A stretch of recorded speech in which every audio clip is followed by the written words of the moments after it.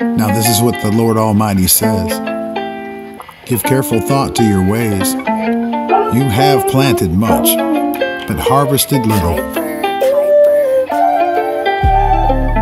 You eat, but never have enough. You drink, but never have your fill. You put on clothes, but are not warm.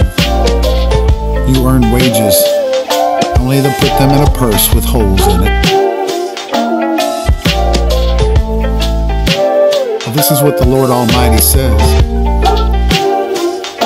Give careful thought to your ways. And go up into the mountains yeah, and bring down the timber and build a house so that I may take pleasure in it and be honored, says the Lord. You expect much, but see, it turned out to be so little.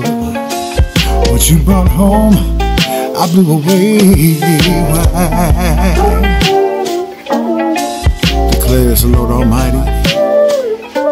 Because of my house, which remains a ruin, while each of you is busy with his own house. And therefore, because of you, the heavens have withheld their and the earth its crops.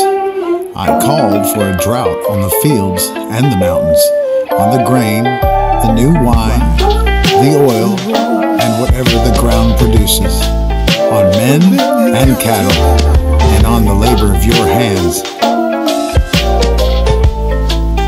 There will be a famine that comes throughout the land, and not one for food or water, but for the word of the Lord.